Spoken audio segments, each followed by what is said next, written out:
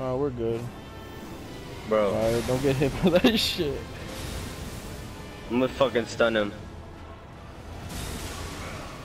Okay, how the fuck did that hit me after? Goodbye. Like, I got him. Oh. ah, you ain't gonna make it. That shit did two damage. Yeah, but fuck it, better than nothing. Well, I think I'd rather take that. that shit was